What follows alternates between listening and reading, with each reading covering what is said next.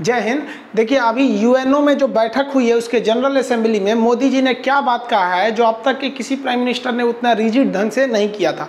और क्या हमें अस्थाई सदस्यता और बीटो मिल पाएगी? और अगर मिलेगी तो कब तक? और चाइना क्या विरोध कर रहा है? और चाइना को हम किस तरह से बाईपास करके, चाइना के विरोध के बावजूद किस तरह से उसे हम अपने चक्रव्यूह में फंसा कर उससे हम बीटो पावर को ले सकते हैं? तो देखिए, पूरी दुनिया में ना, एक पूरी दुनिया में शांति स्थापित करने के लिए जब द्वितीय विश्व युद्ध हुआ था तो पूरी दुनिया आपस में लगभग लगभग लगभग लड़ गई थी। तो उसे शांत करने के लिए एक संगठन बनाया गया जो एक ऊपर से काम करे, पूरे वर्ल्ड को कंट्रोल करे। इसमें मुख्य भूमिका रूजवेल्ट की थी जो उस समय अमेरिका के राष्ट्रपति हुआ करते थे। उन्होंने क्या किया? एक यूएनओ जो पहले से एक 1920 से चलते आ रहा था लीग ऑफ़ नेशन उसी को मॉडिफाई करके एक यूनाइटेड नेशन ऑर्गेनाइजेशन यूएनओ की स्थापना किया, जिसे हम लोग शॉर्टकट में, भले यूएनओ कहते हैं शॉर्टकट में अगर यूएन भी बोलेगा तो आप समझिएगा कि यूएनओ की बात कर रहा है। इसकी स्थापना जो न्यूयॉर्क का एक आइलैंड है, जिसका नाम है मैनहट्टन आइलैंड वहीं पे हुई थी 24 अक्टूबर 1945 को। अभी तक में इसके एक सदस्य हो चुके हैं। दक्षिणी सूडान 2011 में इसका सबसे नया सदस्य बना है। तो अभी इसमें एक सदस्य हैं। इसकी जो सबसे बड़ी सभा होती है, उसे कहते हैं जनरल असेंबली इसे विश्व का लघु संसद के नाम से जाना जाता है। इसके टोटल छः अंग है, लेकिन इस वीडियो में हम केवल एक अंग की चर्चा करेंगे, जो सबसे महत्वपूर्ण है, जिसे कहते हैं हम लोग सिक्योरिटी काउंसिल तो जो मोदी जी कहते हैं, वो जनरल असेंबली में भाषण देने गए थे। इसकी हर साल सितंबर में बैठक होती है, जिसमें हर देश के राष्ट्राध्यक्ष आते हैं। राष्ट्रीय अध्यक्ष जो होते हैं ना, वो हमेशा यहाँ आते हैं, भाषण देते हैं। इसमें मोदी जी भी गए थे। मोदी जी के भाषण में बहुत सारी चीज़ें थी, लेकिन जो मुख्य बातें थी, वो खुद यूएनओ की क्रेडिबिलिटी पर सवाल उठा देती थी।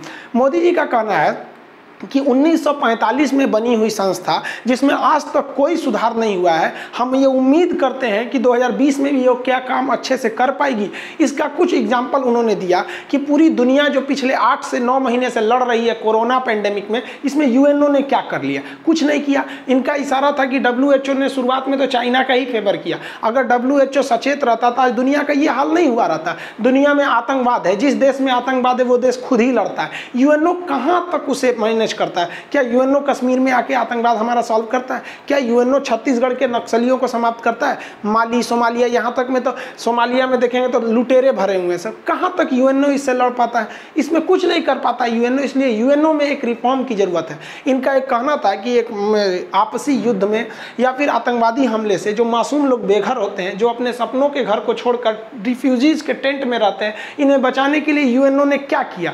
कोई खास कदम तो नहीं उठाए थे। बाद में मोदी जी ने कुछ देश की भी बात किया था कि इंडिया में इन्होंने डिजिटलाइजेशन को बहुत ज़्यादा आगे बढ़ाया है और ये रियलिटी भी है। बहुत सारे लोग को, जैसे आप जनधन योजना से देखिए, जो वित्तीय समावेशन था, इन्होंने कहा कि हम लगभग 400 मिलियन लोगों को हमने क्या किया है? बैंकिंग से कनेक्ट किया है, जो ठीक भी है इंटरनेट के मामले में ठीक है। लेकिन हम अब चर्चा करते हैं कि जो भारत की सबसे बड़ी मांग है कि हमें सुरक्षा परिषद में अस्थाई सदस्यता, यानी बीटो कब देंगे? अब ये सुरक्षा परिषद क्या है? अस्थाई सदस्य क्या है और बीटो क्या है? और हमें मिलेगा कि नहीं अब इसको आप अच्छे से समझिए। देखिए यूएनओ के छह अंग में से जो सबसे महत्वपूर्ण अंग है, वो है उसका सिक्योरिटी काउंसिल सुरक्षा परिषद। इसे हम लोग दुनिया का पुलिस मैन कहते हैं। मतलब दुनिया में किसी को भी सजा देना है ना तो वो यही देता है सिक्योरिटी काउंसिल। सद्दाम हुसैन पर सेंक्शन लगा दिया था एम्बार्गो लगा देगा तो आप किसी देश से व्यापार ही नहीं कर पाएँगे। तो ये बहुत खतरनाक होता है, सिक्योरिटी काउंसिल होता है। अब ये सिक्योरिटी काउंसिल जो है, इसमें पंद्रह मेंबर है, जिसमें दस मेंबर जो है अस्थायी हैं और पाँच मेंबर अस्थायी हैं। तो आपको पता ही है, जो अस्थाई यानी परमानेंट है, उनके के लिए तो कोई टाइम बाउंडेशन है ही नहीं है, वो तो परमानेंट है। समझ में आया कि नहीं आ गया? और जो बाकी दस मेंबर हैं, वो अस्थाई हैं, यानी परमानेंट नहीं है टेम्पोरी हैं, इनका कार्यकाल केवल दो साल होता है। इनका चुनाव अल्फ़ाबेटिकली हो जाता है। अभी भारत जो है, वो दो में एक बार इसका सदस्य बना था। अब फिर दो में इसका सदस्य बनने जा रहा है। इक्कीस से बाईस दो साल रहेगा यहाँ पर। अब भारत नहीं रह पाएगा। बाकी ऐसे पाँच देश हैं जो हमेशा रहेंगे। मतलब जब तक यूएनओ है, तब तक रहेंगे। आखिर अब ये पाँच देश कौन कौन है? और इनका क्या क्या काम है? पहले यहाँ समझिए। पहले हम इन पाँच देशों को समझ जाते हैं। ये यूएन का जो हेडक्वार्टर है, इसे यूएन कहिए या यूएनओ इसमें पाँच जो अस्थाई सदस्य हैं, इन्हें याद करने के लिए आप नक्शा का प्रयोग कीजिए। बिना मैप के आप पढ़ेंगे तो आपके दिमाग से उतर जाएगा। कितने चीज़ों को याद रख सकते हैं? तो सबसे पहले इधर देखिए नक्शा से, ये यूएसए है। पहला क्या हो जाएगा? यूएसए पहला अमेरिका कहिए या यूएसए कहिए? उसके बाद आपका आएगा ब्रिटेन, उसके नीचे फ्रांस। ब्रिटेन, फ्रांस दोनों आपस में। तो मतलब एक ही पास है। दोनों के बीच में थोड़ा सा तो इंग्लिश चैनल यानी का अंतर है। एक समुद्र का चौड़ा, समुद्र में चौड़े रास्ते को जो कहते हैं ना, वो चैनल होता है। पतला को स्ट्रीट कहते हैं। तो पहला कौन सा का अमेरिका, ब्रिटेन, फ्रांस। हो गया? नक्शा में कैसे याद रखें? America, Britain, France. नक्शा से याद रखना है। आपको देश नहीं याद रखना है। नक्शा। America, Britain, France. इधर हो गया। अब इस साइड में आएँगे तो रूस, ऊपर में रूस, नीचे में चाइना। हो गया यहाँ पे। देखिए, ये दोनों एक पास। ब्रिटेन, फ्रांस एक पास। इनकी मेंटेलिटी भी एक जैसे है। और रूस, चाइना, इनकी मेंटेलिटी एक जैसे दोनों पहले कम्युनिस्ट थे सब अभी रूस जो है लोकतंत्र हो गया है। वो भी काहे को लोकतंत्र 2002 से 2002 से तो अभी तक पुतिन बैठे हैं 2035 तक में। कौन जी का लोकतंत्र है? तो टोटल कितने देश हो गए? पाँच। अब हम आपसे कहते हैं, आप बताइए कितने हो गए? पहला, अमेरिका, ब्रिटेन, फ्रांस, रूस, चाइना। अमेरिका, ब्रिटेन, फ्रांस, रूस, चाइना। ये पाँच देश हैं जिन्हें बीटो है, ये अस्थाई सदस्य है। इनका यहाँ नाम है, ये झंडा है इन लोगों का। अब ये आप अगर गौर कीजिएगा ना तो ये वही देश हैं जो द्वितीय विश्व युद्ध जीते थे। आपस में लड़के जीत गए थे। ये सब कहीं ना कहीं से यही लोग जीते थे। जर्मनी हारा था, इटली हारा था, उधर में आपका जापान हारा था। और चाइना ने भी इनडायरेक्टली जापान को मारा था तो आप समझिए कि वो अमेरिका की ही ओर से लड़ा था। तो ये जो द्वितीय विश्व युद्ध में जीत गया, उसको आपने परमानेंट सदस्य दे दिया। बाकी को टेम्प्रोरी दिया, दो साल आओ, जाओ। अब ये इनका पावर क्या है, ये समझिए, ये तो आप पाँचों समझ गए ना। इनका पावर देखिए, जितने परमानेंट मेंबर यानी अस्थायी सदस्य वाले जो पाँच देश हैं, इनके पास एक पावर है बीटो पावर बीटो को हिंदी में कहते हैं निषेध शक्ति। इसे हम आम बातचीत की भाषा में हम कहें तो इसका मतलब होता है ना। जैसे अगर हमको, हम, कोई हमसे कहता है कि, सर, आज पार्टी किया जाए, मान लीजिए सारे लोग रेडी हैं। और हम कह दिए, बीटो। तो बीटो का मतलब किसी भी चीज़ को हमेशा के लिए रोक देना मतलब उस प्रस्ताव को ही रोक देना, उसे क्या कहते हैं, बीटो। तो जितने अस्थाई सदस्य हैं, उन्हें बीटो प्राप्त है। याद रखिएगा, जो 10 मेंबर यूएनओ के हैं अस्थाई उनके पास बीटो नहीं है। और ये पाँच मेंबर हैं जिनके पास बीटो है। अब यूएनओ में कोई भी विधेयक या प्रस्ताव आता है, जिसे हम लोग रिजोल्यूशन कहते हैं, कि मान लिया कोई रिजोल्यूशन आया कि पाकिस्तान को आतंकवादी देश घोषित कर दिया जाए, उसे कोई भी आर्थिक मदद नहीं दिया जाएगा, जब तक कि वो आतंकवाद पर नकेल नहीं कसता है। तो पूरे लोग रेडी हो जाएँगे। यूएनओ के एक सौ तिरानवे लोग हैं। एक सौ तिरानवे में एक सौ इक्कीस लोगों ने कह दिया कि हाँ भैया, उसे आतंकवादी देश घोषित कर दीजिए। तो हो जाएगा। लेकिन जो पाँच देश है ना, जिन्हें बीटो पावर प्राप्त है, आप पाँचों का नाम याद है ना आपको? अमेरिका, ब्रिटेन, फ्रांस, रूस, चाइना। इसमें से किसी एक ने भी, हम पाँचों की बात नहीं कर रहे हैं, कोई एक ने भी अगर बीटो कर दिया कि नहीं, हम इस प्रस्ताव से खुश नहीं है तो वो प्रस्ताव कट जाएगा। चाहे उसमें कितनी भी अच्छाई है। मौलाना मसूद अजहर, जो भारतीय तिहाड़ जेल में बंद था, उसे आतंकवादियों ने आई सी प्लेन को हाईजेक करके सन 2000 में लेके गए थे और उसके बाद इन्हें छुड़ाए थे। और यूएनओ ने उसे आतंकवादी घोषित कर दिया, लेकिन चाइना ने कह दिया, नहीं, बीटो, कि अभी इसके खिलाफ सबूत नहीं है। कोई मतलब नहीं बनता है। बीटो जो है, हम रोक दिए, हमारा दादागिरी है। समझाया यूएनओ जो एक देशों का संगठन है, जो पूरी दुनिया को चला रही है, ये एक्चुअली में एक पाँच घोड़े का रथ है। वो रथ की तरह है जिसमें पाँच घोड़े लगे हैं और उन घोड़े का लगाम पाँच देशों के पास है। पाँचों घोड़ों का लगाम, कोई एगो रोकेंगे, रथ रुक जाएगा। ऐसा थोड़ी है, पाँच घोड़ा का रथ एगो रुक जाएगा तो रथवा जाएगा, उलटिए जाएगा। ये पावर होता है बीटो का। तो बीटो मिलेगा किसको? जिसके पास अस्थायी सदस्य है। कुछ भी रोक सकते हैं। अब यूएनओ का एक नियम है कि कोई देश दूसरे देश पर कब्जा नहीं कर सकता अब सद्दाम हुसैन भाई साहब उठे, उन्होंने एक देश था कुवैत, उस पर हमला कर दिया और उसको अपने अंडर में ले लिया। अब यूएनओ वाले ने पूरा उठ के हमला कर दिया। यूएनओ ने प्रस्ताव पारित हो गया सुरक्षा परिषद में कि कब्जा क्यों किए हैं? क्योंकि आप किसी देश पे कब्जा करके नहीं रख सकते, उस देश में शासन वहीं के लोगों का होगा। अब सद्दाम हुसैन तो क्लास किए नहीं थे मेरा, चढ़ गए हमला करने। पूरी दुनिया उठ के मारी, सद्दाम हुसैन कहाँ पहुँच गए समझ में आ गया? लेकिन देखिए यही यूएनओ में। 1959 में चीन ने तिब्बत पर हमला किया और तिब्बत को पूरी तरह हम घोट लिया, अपना राज्य बना लिया तिब्बत को। जब सुरक्षा परिषद में यह प्रस्ताव गया कि नहीं, सारे देश चीन का विरोध करें या चीन पर हमला करें जब तक वह तिब्बत को नहीं छोड़ देता है। तो 121 सदस्यों की ज़रूरी है, प्रस्ताव पारित हो गया। लेकिन पाँचों जो बीटो पावर वाले हैं, उनका भी तो सहमत होना ज़रूरी है। सब सहमत हो गए सब अमेरिका, ब्रिटेन, फ्रांस, रूस सब सहमत हो गए। चाइना का हमारे पे हमला बीटो ले, भैया, इसका मतलब ये हुआ कि जिनके पास बीटो है ना, वो रौंद देंगे किसी को। आप देखिए ना, अफ़गानिस्तान की क्या गलती थी? रूस उस पर हमला कर दिया था, अपने में कब्जा कर लिया। अब रूस को भगाने के लिए ओसामा बिन लादेन को लेके आया अमेरिका। तुम मारो रूस को, भागो। मतलब अफ़गानिस्तान को ये लोग ना अखाड़ा बना दिया लो आप अभी भी देखिए, अमेरिका कहीं भी घुस के हमला कर देता है। अब इराक के, ईरान के सेना प्रमुख को मार दिया मिसाइल से। समझ में आया कि नहीं? ये उकसावे वाली ना चीज़ है यहाँ पर। अब इराक इराक चौपट हो गया, ईरान होगा तो हम लोग का पेट्रोल का रेट बढ़ जाएगा। तो हम लोग को तो सब चीज़ देख के चलना है ना, कि भाई तुम ईरान से तुम्हारा कुछ भी झगड़ा है उसको ज़िंदा रखो ना, हम लोग को पेट्रोल देता है। बाकी हमको कौन चीज़ उससे रिश्तेदारी थोड़ी है। तो आपके मन में एक चीज़ तो समझ में आ गया कि जिसके पास बीटो है, वो यूएनओ में कुछ करेगा, आप नहीं रोक सकते। समझ में आए ना कि? अब आप एक लड़का कर रहा है कि, सर, चाइना से ना, हम जब क्लास में पढ़ा रहे थे ऑफलाइन तब तो कर चाइना से, सर बीटो छीन क्यों नहीं लेते हैं प्रस्ताव लाके? तो बेहतरीन है, छीन लीजिए। तो छीनने के लिए भी तो एक सौ तिरानवे में से 121 की ज़रूरत है, और उसके बाद जो पाँच बीटो वाले हैं, सब इन इन पाँचों का भी तो सहमत रहना ज़रूरी है। पाँच में से एक को अगर कह दिया बीटो यानी नहीं तो नहीं होगा। तो मान लीजिए चाइना का बीटो छीन रहे हैं तो अमेरिका कहेगा, ठीक है, ब्रिटेन, फ्रांस, रूस छीने और चीनवा कहेगा हमरे छीनेगा रे, ले बीटो जो यहाँ से नहीं दे सक नहीं छीन सकते उन्हीं के पास बीटो रहेगा। और अगर कोई देश बीटो लेना भी चाहता है ना, यूएनओ में सुधार होगा कि भैया 1945 की चीज़ है, पुरानी हो गई है, इसमें सुधार कीजिए। तो ऑलरेडी जो पाँच अस्थाई सदस्य हैं, जिसे शॉर्टकट में आप बीटो कहते हैं, इन पाँचों का रेडी रहना ज़रूरी है। इक्को को ठोका बीटो तो आप गए काम से। अब हमारे लिए सबसे बड़ा खतरा समझ रहे ना, चाइना है। लेकिन ऐसा थोड़ी है, हर चीज़ का इलाज है, आखिर आखिर में समझाते हैं क्या इलाज है। तो आप ये बीटो समझ में आ गया। अब कभी कभी क्वेश्चन पूछता है, सबसे ज़्यादा बीटो यूज़ कौन किया है? तो सबसे ज़्यादा रसिया किया है, फ्रांस नहीं करता है बीटो, ये बीच बीच में रहता है, इतना प्रयोग नहीं करता है ये। आगे देखिए, हालाँकि सब बीटो पाँच के पास है, वो कर सकते हैं। अब हम कहते हैं, एक इंडियन के हिसाब से देखिए why India should get veto? हमें बीटो मिलना क्यों चाहिए? अगर हमें मिलना चाहिए तो दुनिया का हर एक देश का व्यक्ति अपने देश से प्रेम करता है। श्रीलंका लोग, श्रीलंका भी कहेगा, हमें क्यों नहीं मिलना चाहिए? तो सबको बीटो मिलना चाहिए।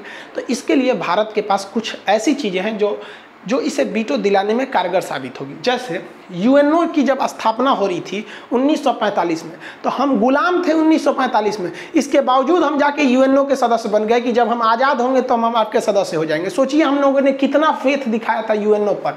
और हम यूएनओ के संस्थापक सदस्यों में से हैं। हम लोगों ने यूएनओ का प्रचार उस समय किया था जब हम गुलाम थे। और हमें ही अपने अस्थाई परमानेंट नहीं रखा है। बाहर दोगलागिरी बाह, यहाँ पर।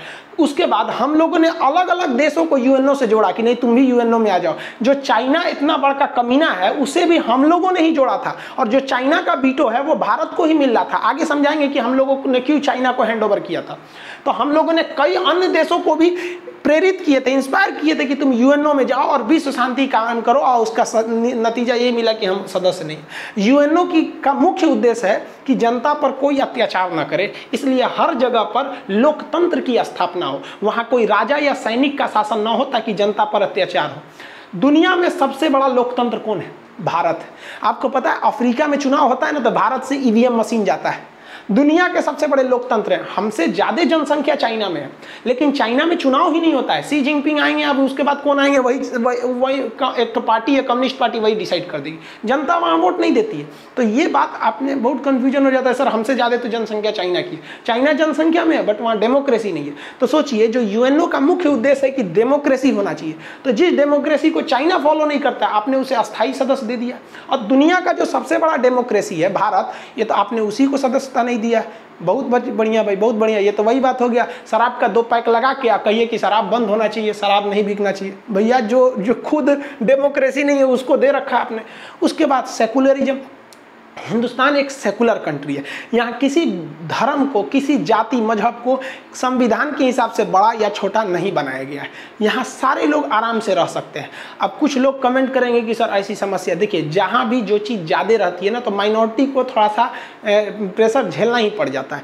अदरवाइज़ में भारत में कभी भी ऐसा नहीं दाग लगा है। पाकिस्तान हमारे सामने अलग हुआ था, वो इस्लामिक कंट्री हो गया है। अब वहाँ नियम है कि कोई हिंदू प्रधानमंत्री नहीं बन सकता, कोई हिंदू सुप्रीम कोर्ट का जज नहीं होगा, कोई हिंदू राष्ट्रपति नहीं होगा। मतलब जब भी होगा तो मुसलमान होंगे। हिंदुस्तान में ऐसा कोई नियम नहीं है। आपके पास भी दो सौ तिहत्तर सीट है। आप मोदी जी को हटा के जैन धर्म के हैं, कोई दिक्कत नहीं। आप दिगंबर है, बिना वस्त्र के आप प्रधानमंत्री हो सकते हैं। बस आपको दो सीट चाहिए। आप सीटें में नहीं लाएँगे, आप खोजेंगे, प्रधानमंत्री हो जाए। तीन तीन मुस्लिम राष्ट्रपति हो गए हिंदुस्तान में। हमारे देश के आज भी सुप्रीम कोर्ट में मुस्लिम जज हैं और भारत में किस पद पर मुस्लिम नहीं रहे? प्रधानमंत्री बनने के लिए तो भी आपको दो सौ तिहत्तर सीट चाहिए ना जी। अब आप लाइए सीट, आप भी बन जाइएगा।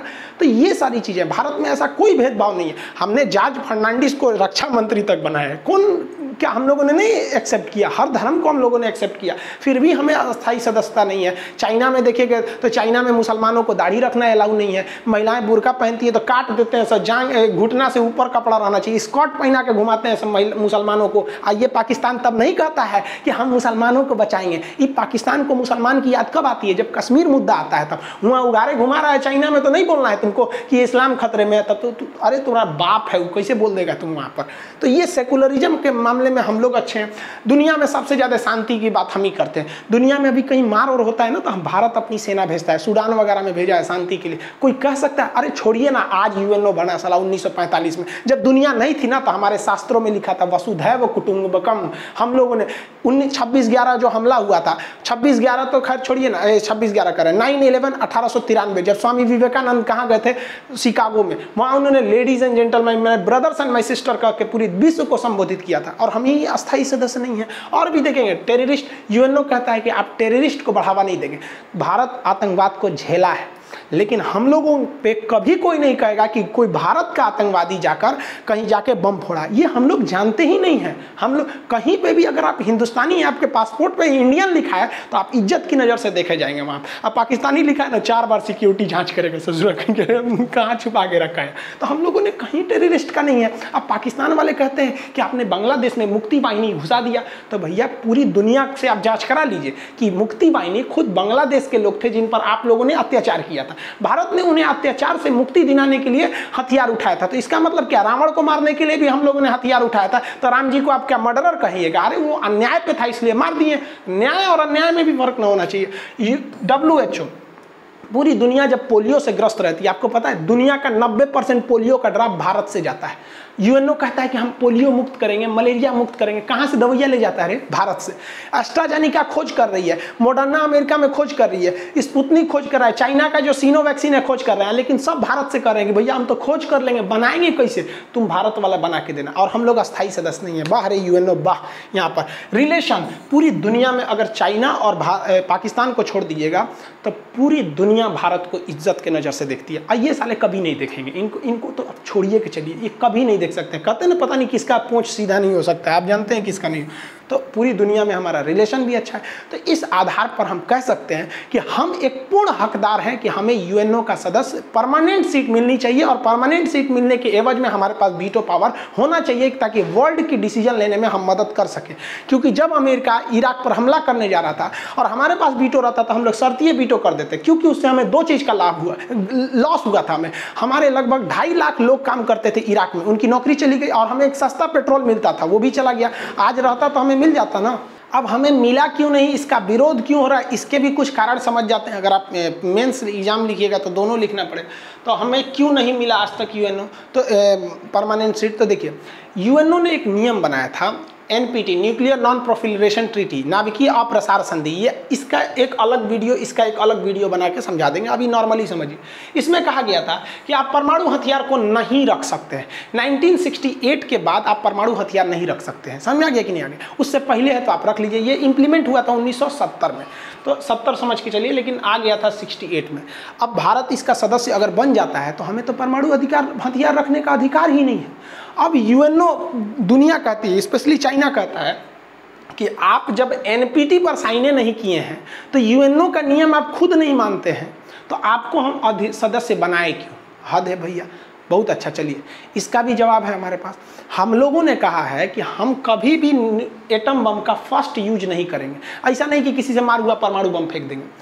हम केवल और केवल परमाणु बम रिटेलिएट के लिए प्रयोग करेंगे। यानी अगर कोई हमारे पे परमाणु बम मार दिया ना तो हम बैठे बैठे मुँह नहीं देखेंगे, तब हम उसको भी मार देंगे। इसका मतलब जो देश परमाणु संपन्न नहीं है, जैसे श्रीलंका, बांग्लादेश, इनसे अगर हम, नेपाल, अभी ओली साहब, इनको भी बता देते हैं। तो अगर इनके बीच युद्ध होता है तो हम कभी भी परमाणु बम प्रयोग नहीं करेंगे, क्योंकि उनके पास, नेपाल के पास खुद परमाणु बम नहीं है, वो जब मारेगा नहीं तो हम रिटेलिएट कैसे करेंगे? रिटेलिएट का मतलब उसी भाषा में जवाब देना। तो सिंपल सी बात है। तो हम यही कहते हैं कि भैया हमारा परमाणु बम किसी पर हमला के लिए नहीं, हम आत्मरक्षा के लिए। और भारत ने यूएनओ में स्पष्ट बोला था कि हम आज भी एनपीटी पर साइन करने के तैयार हैं, हम अपना परमाणु हथियार हटाने के लिए तैयार हैं, लेकिन दुनिया का हर एक देश अगर परमाणु हथियार हटा देता है तो हम भी हटा देंगे। नियम सबके लिए हो, चाहे वो राजा हो या फकीर, नियम के हिसाब से कोई भी आप डिस्क्रिमिनेशन नहीं करेंगे कि हम रखेंगे, आप नहीं रखेंगे, ये बात नहीं होना चाहिए। तो भारत तो साफ़ कहता है तो चाइना यहाँ कहता है, नहीं नहीं, नियम नियम होता है। अरे भाई, नियम नियम होता है तो एक बराबरी का नियम भूल गए कि सब बराबर हैं। दूसरा समस्या क्या, पहला तो समझ, एनपीटी पे आगे समझ, बता देंगे क्या क्या चीज़ें थी। एन, आप फ्रांस की एग्जांपल देखिए, फ्रांस एनपीटी पे साइन नहीं किया था, फिर भी उसको परमानेंट मिल गया था, उसके बाद उसने साइन किया था। ये जब मेंस लिखिएगा ना तो थोड़ा मिर्च मसाला जोड़ेंगे तो नंबर अच्छा मिलेगा। आगे देखिए C B C T B T comprehensive test ban treaty, बृहद मतलब इसमें बहुत बड़ा परमाणु का परीक्षण नहीं कर सकते, भारत इस पर भी साइन नहीं किया। देखिए दिमाग लगाया सब यूएनओ वाला, कि एक काम करो, नियम बना दो कि कोई भी परमाणु बम का परीक्षण नहीं कर सकता है।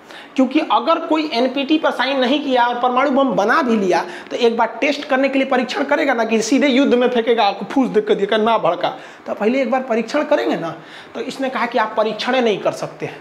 अब भारत इस पर भी साइन नहीं किया। लेकिन ई वाला ने वो गलती कर दिया। C B T to C C B T कर है। टी के कानून में लिखा हुआ है, उन्नीस सौ छियानबे के कानून में, कि आप ज़मीन पर हवा में या पानी में परमाणु परीक्षण नहीं कर सकते हैं। तो एपीजे अब्दुल कलाम भारत वाला दिमाग लगाए। कहा कि सुनिए ना, हवा में नहीं करिए, पानी में मत करिए, ज़मीन पर मत करिए। ज़मीन खोद के अंदर कीजिए, क्योंकि कानून जो होता है अंधा होता है, वो तो सीधे कहेगा कि कानून में कहाँ लिखा था कि अंडरग्राउंड नहीं कर सकते हैं। इसलिए भारत ने अंडरग्राउंड परीक्षण किया। समझ में आया परीक्षण किया था, पाकिस्तान में भूकंप आ गया था। तो भारत कहता है कि देख भैया, हम तो सी पे साइन किए नहीं हैं। और किए भी अगर लेकिन हम सी का उल्लंघन कहाँ किए हैं? कहाँ उल्लंघन किए हैं? भैया, आप बोले थे जहाँ जहाँ मना किए थे, हम वहाँ कहाँ वो फोड़े हैं? हम तो ज़मीन के अंदर फोड़े हैं। उन्नीस सौ चौहत्तर में भारत ने फोड़ा था, उसका कोड नाम था स्माइलिंग बुद्धा। और उन्नीस में जो फोड़े थे, उसका नाम था शक्ति अंठानवे। तो हम लोग कहाँ आपका उल्लंघन कर रहे हैं कि आप कह रहे हैं कि हम आपका बात नहीं मानते हैं? साइन हम तभी करेंगे जब सब पर नियम लगेगा। अब आते हैं जम्मू कश्मीर का मुद्दा। ये पाकिस्तान कहता है है, है मत दीजिएगा बीटो। ससुरा का अगर मिल जाएगा बीटो तो कश्मीर हड़प ये लेगा वो यहाँ पर क्योंकि अगर बीटो मिल गया तो हम लोग कश्मीर पर हमला करके हड़प लेंगे ससुरा। अब कौन चीज़ लाने आएगा? सीधा कह देंगे लोग कि हम बीटो करते हैं। हम क्या कर देंगे? बीटो कर देंगे। तो पाकिस्तान कहता है ना ना ना ना है जम्मू कश्मीर का मुद्दा है मत दीजिएगा बीटो जब तक ये सॉल्व नहीं हो जाता है। अभी जम्मू कश्मीर का मुद्दा सॉल्व होगा। तो 1950 में जम्मू कश्मीर के मुद्दे का अध्ययन करने के लिए। खुद यूएनओ ने एक डिक्सन कमीशन, एक डिक्सन आयोग का गठन किया था। वो 10-15 लोग आए थे और कश्मीर के मुद्दे पे अध्ययन करके यूएनओ में अपनी रिपोर्ट दिए थे। उस रिपोर्ट में कहा गया था कि यूएनओ कोई यू, सॉरी, कश्मीर का मुद्दा कोई अंतर्राष्ट्रीय मुद्दा है ही नहीं। ये भारत और पाकिस्तान का आंतरिक मामला है। इसे इन दोनों को खुद सुलझा लेना चाहिए। अब यही मिल गया भारत को मौका कि रे भैया खुद यूएनओ कहता है कि ये अंतर्राष्ट्रीय मामला नहीं है, घरेलू मामला है। और घरेलू मामला में यूएनओ को हस्तक्षेप करने का अधिकार किसने दे दिया? तो आप खामखा में भारत का ना विरोध कर रहे हैं। भारत ने इस बात को भी ऐसे काट सकते हैं हम लोग। अब आता है बजट की बात। ये रियलिटी है कि हमारे ऊपर आरोप लगाया जाता है कि हम बजट बहुत कम देते हैं। और रियल में हम लोग बहुत कम बजट देते हैं। एक से दो परसेंट के टोटल खर्च का हम लोग देते हैं। ज़्यादा नहीं देते हैं लोग। सबसे ज़्यादा देता है आपका अमेरिका देता है, फिर जापान, फिर चाइना, फिर रसिया, फिर ब्रिटेन, फ्रांस, ये सब देते हैं। हम लोग बहुत कम बजट देते हैं। ठीक है भैया। हम अगर बजट कम देते हैं तो जरा जो जोड़िए तो पूरी दुनिया में सबसे ज़्यादा वैक्सीन कौन देता है? फ्री में। कई पैसा में नहीं आ रहा है? पूरी दुनिया में पोलियो की दवाई हम लोग देते हैं, फ्री में आ रहा है? पूरी दुनिया में मलेरिया, अफ्रीका में मलेरिया से हर साल पचास हज़ार लोग मरते हैं। हम लोग मलेरिया की दवाइयाँ देते हैं। अरे, छोड़िए ना अफ्रीका से हाइड्रोक्सी क्लोरोक्विन मलेरिया की दवा ट्रंप को घट गया था तो बोले थे मोदी जी को कि दे दीजिए, नहीं देंगे तो गड़बड़ हो जाएगा। बोले थे कि नहीं बोले थे? अभी हाल फ़िलहाल में। तो अब हम देते हैं फ्री में। तो ये पैसा आपको नहीं दिख रहा है। सूडान में आतंकवादी घुस गया सब। जहाँ तहाँ हो जाता है। तो यूएनओ चिल्लाता है मोदी जी से अरे प्रधानमंत्री, भारत भारत भारत। तनी सेना भेज दीजिए तो वहाँ सेना, अरे, चोट्टा कहीं का, जो हमारी फौज गई है, उसको खाना तुम दिया है, सैलरी तुम दिया है। हम भारत वाले सैलरी दिए। और जब शहीद होते हैं तो तिरंगे में लपेट के ले आते हैं। तो एक रुपया देता है उनकी, घर में जो उनकी पत्नी विधवा हो गई, बाल बच्चे के ऊपर से बाप का साया हट गया, हम देते हैं। क्या ये पैसा नहीं दिख रहा है तुमको? अब तो मोदी जी को भी कहते हैं कि, अरे, क्या ज़रूरत है जब चोट्टन को खाली पैसे देखना है तो ये सब कैंसिल कर दीजिए, मत दीजिए सीधे जो नहीं, इसका पैसा आप सीधे कैश में दे दीजिए। जब तुम्हें कैश ही देखना है मतलब यूएनओ को ससुरा नचनिया बना दिया है सर जो जितना पैसा उड़ाया, उतना ठुमका लगा दो। हद हो गया यूएनओ में।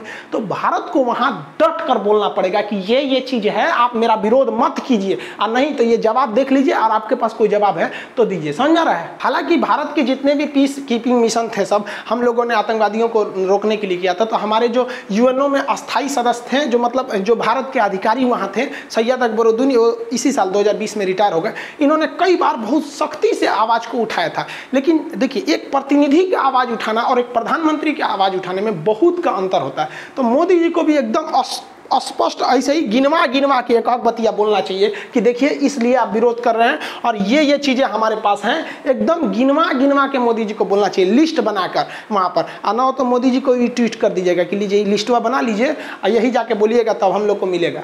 आप संभावना समझते हैं हम लोग को कब मिलेगा। तो यूएन देखिए, भारत बड़ा होशियारी किया। उसने कहा कि अगर हम अकेले मांगेंगे ना, बीटो बीटो तो हमारा नहीं देगा सब। तो भारत ने 2005 में एक ग्रुप बना लिया जी फोर जी फोर चार देशों का एक संगठन है। इसमें कौन कौन है? भाई तो ये चारों देशों का मांग है कि हमको परमानेंट सीट चाहिए। अब जैसे परमानेंट सीट मिलेगा तो हमें क्या मिल जाएगा? बीटो मिल जाएगा। डायरेक्ट बीटो थोड़े मिलेगा। पहले परमानेंट सीट मिलेगा। और जिसके पास परमानेंट सीट है, उसके पास ऑटोमेटिक बीटो चला जाएगा। तो इसमें चार कौन कौन देश आते हैं? इसको भी नक्शा से याद रखिएगा। ये अस्थाई वाला पाँच याद है ना? अमेरिका, ब्रिटेन, फ्रांस, रूस, चाइना। अब जो मांग कर रहे हैं जी फोर उनको देखिए। इंडिया एशिया से देखिए। इंडिया और जापान। एशिया से हो गया ना? India, Japan. यूरोप से एक जर्मनी मांग रहा है। हिटलर वाला जर्मनी। तो India, Japan, Germany. India, Japan, Germany. और इस साइड से ब्राज़ील मांग रहा है। करा कि भैया हमको भी चाहिए। और रियल में ही है भाई, आप 1945 का मॉडल को 2020 में लेके झेल रहे हैं। तो यही यूएन को जो महासचिव है ना भैया एंटोनियो गुटोरस उनको 1945 का टेलीफोन थमा देना चाहिए। लीजिए कंट्रोल करिए इसे सर। डिडिंग डिडिंग बात करेंगे यहाँ पे। तो अपने झुनक जाएँगे कह गया हाँ हमको फाइव टेक्नोलॉजी चाहिए। तो उनसे कहिए ना कि तो काहे उन्नीस सौ पैंतालीस का मॉडल वाले के झेल रहे हैं? दो हज़ार बीस में सुधार कीजिए। तो ये चारों मांग रहे हैं। इन जी फोर समझ में आ गया? एशिया से देखेंगे तो India, Japan, Germany, Brazil. India, Japan, Germany, Brazil. India, Japan, Germany, Brazil. और जो अस्थाई जो पहले से हैं, अमेरिका, ब्रिटेन, फ्रांस, रूस, चाइना। नक्शा के हिसाब से पढ़ेंगे, याद हो जाएगा। नक्शा वाला, वैसे मानचित्र का बैच भी कल से स्टार्ट हो जाएगा। तो ये आप जी फोर समझ गए, लेकिन इसमें किसको मिलेगा? इंडिया को मिलेगा, जापान, जर्मनी, ब्राज़ील, किसको मिलेगा? ऐसा भी तो सबको मिल जाएगा थोड़ी ना। इसमें हम संभावना तलाशते हैं, किसको मिलेगा, किसको नहीं मिलेगा। देखिए बात करते हैं जापान का तो एकदम गारंटी जापान को नहीं मिलेगा। क्योंकि किसको मिलना चाहिए ये डिपेंड करता है, उस पर कोई भी बीटो ना करे। और जापान का दुद्दू को बीटो करेगा, सर। रूस भी करेगा, क्योंकि जापान ने अपने ज़मीन पर हमें सुरक्षा करने के लिए पूरी ज़िम्मेदारी अमेरिका को दे रखा है और अमेरिका वहाँ सेना रखा है और रूस और जापान में जमता नहीं है। तो इसका विरोध कर देगा रूस और चाइना तो हंड्रेड परसेंट करेगा, भैया, एकदम कन्फर्म है।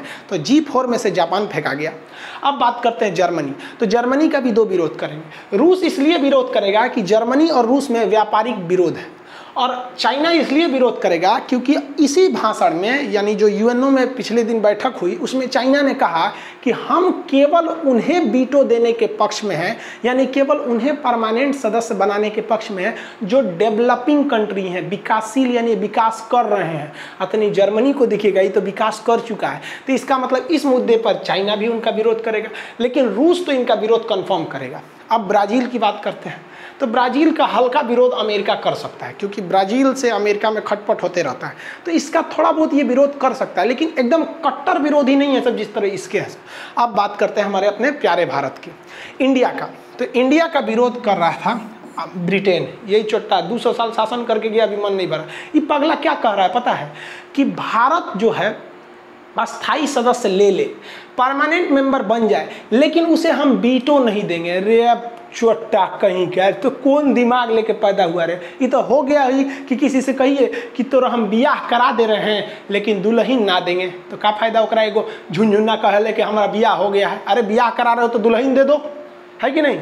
चाहे उससे अच्छा दुल्हन दे दो ब्याह होगा, चाहे नहीं होगा। समझ कि नहीं? अरे भैया, हमको बीटो दे दो। मतलब कहने का समझ ही नहीं कि हमको बीटो दे दो। बाहर में गया, सोच रहा हमको परमानेंट बनाओ चाहे मत बनाओ। हमको रहना चाहिए बीटो। जब मन तब ठोक के चलाए बीटो। जिस दिन बीटो मिलेगा ना, सोचा पी के तो लेके आएगा आदमी एकदम। बाकी पाकिस्तान तुम चिल्लाते रहो थोड़ा तो हम लोग ऐसे देख लेंगे लोग। तो हमको ये सोच रहा, पगला को देखिए। तो भारत ने भी कहा कि चल भैया, तू हमारा एक बार अस्थाई बना दे। एक बार अस्थाई बना देगा ना तो अस्थाई तोरा कोचते रहेंगे, तोरे बगल में बैठ के। बीटो बीटो।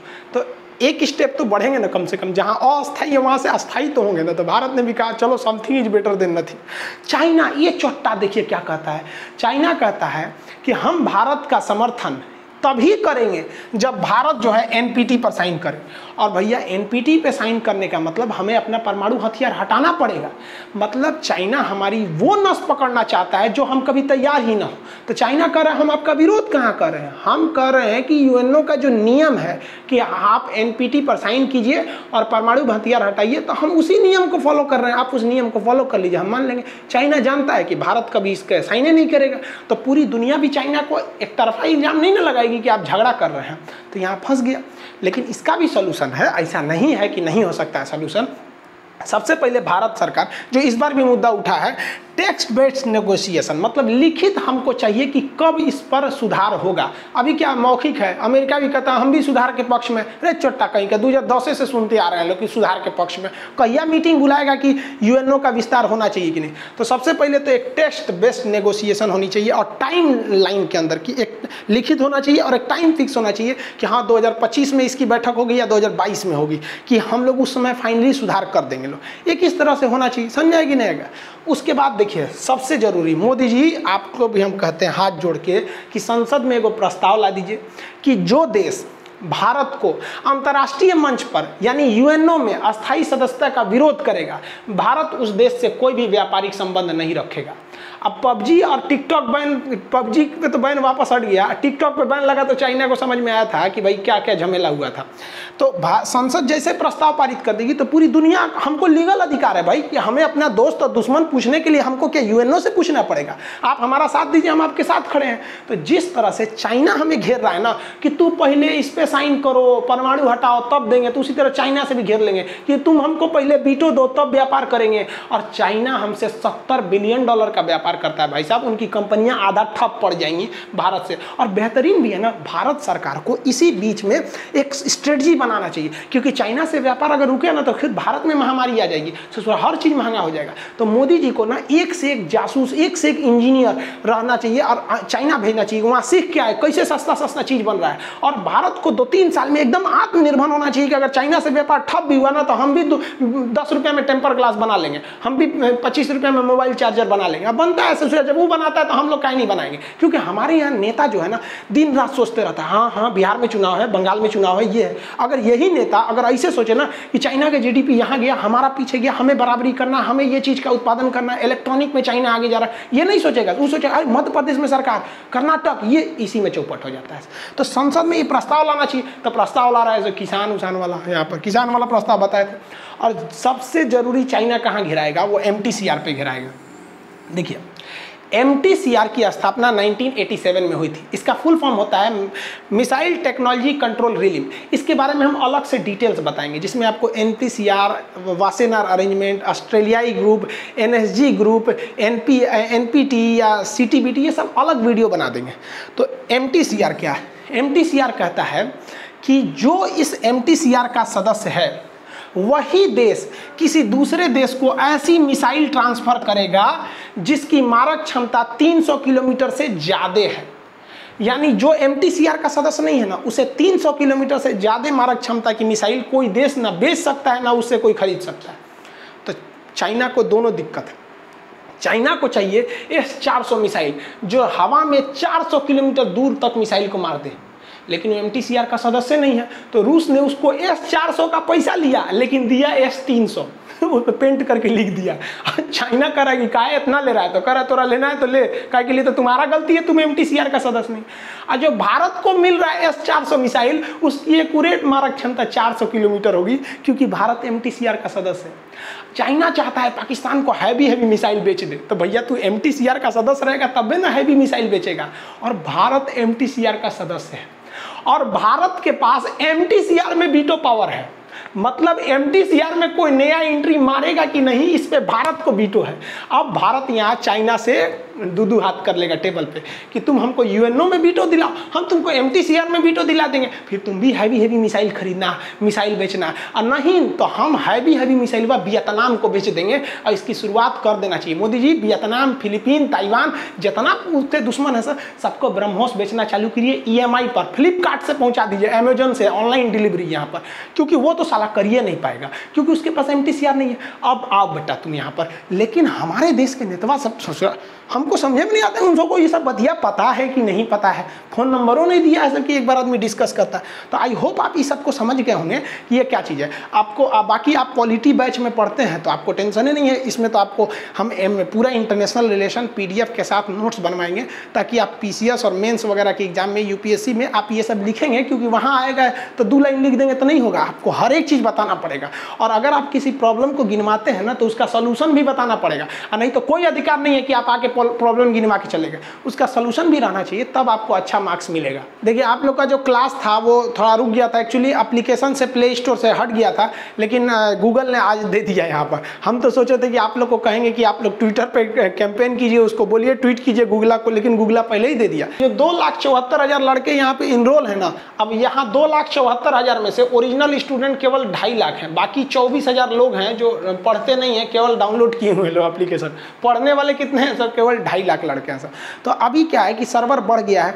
तो जितने लड़के आगे देखिए, बिहार में अगर हैं तो बीपीएससी का एग्ज़ाम आ रहा है यूपी पीसीएस वगैरह जितने लोग हैं, आप लोग के लिए पॉलिटी का बैच में हम एक्सटेंड कर दिए हैं, क्योंकि पहले दो लाख पे ही एडमिशन क्लोज कर दिए थे, अब पचास हज़ार का और जगह बढ़ गया है। तो आप लोग उसमें एडमिशन ले सकते हैं। उसमें आपको international relation polity CrPC IPC court कचहरी, हर एक चीज़, जितनी चीज़ें हैं, वो आपको ए टू जेड चीज़ें बता दी जाएँगी। और मैप का क्लास कल से शुरू होगा, जिसमें आपको मैप भी पढ़ना होगा एटलस पढ़ना है और ग्लोब पढ़ना है। ये जब तीनों चीज़ें पढ़ लेंगे, तब आपको इसमें हम पढ़ाएँगे इंडिया का कौन सा है और वर्ल्ड का कौन सा है। उसके बाद पॉलिटिकल, थेमेटिकल और ये आपका फ़िज़िकल, तीनों टाइप का मैप पढ़ाएँगे। इसमें आपका लगभग लगभग, मान के चलिए ढाई महीना से ऊपर का क्लास चलेगा। अभी इसका ऑफ़र फ़ी है 200 समझा गया? पहले इसका था 150 अभी बढ़ गया है 200 एक्चुअली हम आपको ऑफ़र का अलाउंस जब तक करते, तब तक प्ले स्टोर से एप्लीकेशन में गैप कर दिया।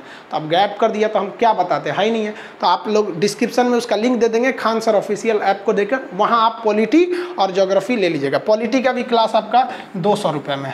आपको इतना, सोचिए बहुत मिनिमम कॉस्ट है। 200 में आप पूरी दुनिया का कोना कोना जान जाएँगे। हर एक चीज़ मिल जाएगा। पॉलिटी में तो फिर आप समझिए कि फिर आपसे कोई नहीं है। एक लड़का ना कमेंट क्या किया कि सर हमको थाना में ले गया था। मतलब उसने कमेंट करके बताया।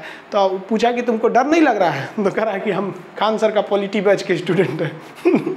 मतलब मज़ाक कर रहा था कि क्या कर रहा था, लेकिन कमेंट करके वो बताया ऐसा। तो आई होप आप ये यूएनओ का मैटर समझ गए होंगे। भारत को कब तक मिलेगा, इसका अभी तक कोई फिक्स डेडलाइन नहीं है।